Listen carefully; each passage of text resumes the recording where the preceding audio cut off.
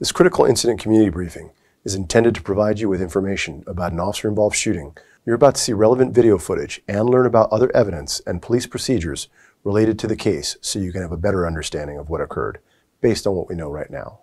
We also do not draw any conclusions about whether the officers acted consistent with our policies and the law until all the facts are known and the investigation is complete.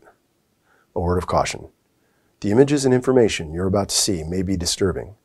When a police officer uses force to arrest a suspect or defend against an attack, it can be graphic and difficult to watch. In addition, there may be strong language used by those shown in the video.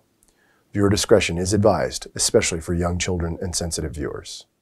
Body-worn video cameras are used by most officers assigned to field duties. They are worn at chest level and capture a general perspective within line of sight from that angle.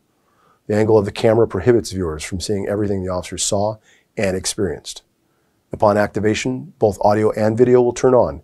However, body-worn video cameras have a buffer of video without audio from the previous two minutes prior to activation.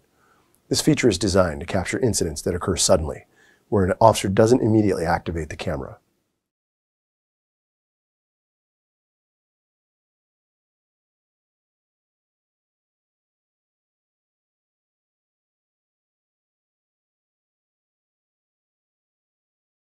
Hey, enough!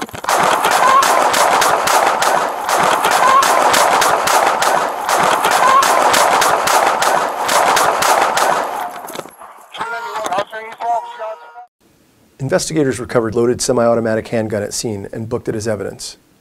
We will continue interviewing any new witnesses that may come forward and complete any forensic tests.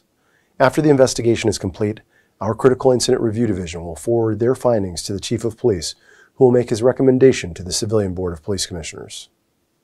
The board will evaluate the evidence to determine whether the officer's tactics, drawing and exhibiting a weapon, and use of deadly force in this instance met the high standards expected of all officers.